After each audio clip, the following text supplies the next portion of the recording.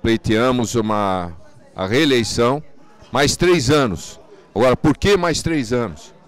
Simplesmente por um motivo, porque nosso trabalho não terminou. Temos muita coisa ainda para é, terminar, para dar sequência, para aprimorar, deixar o, o clube em condições financeiras melhores ainda e o nosso, nosso time de futebol alcançar patamares mais, elevados do que nós já alcançamos, já alcançou no momento.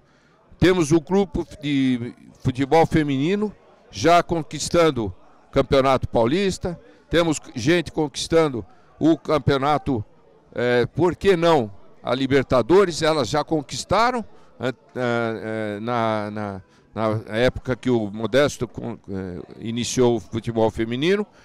E agora nós temos como chegar lá outra vez. O grupo é forte.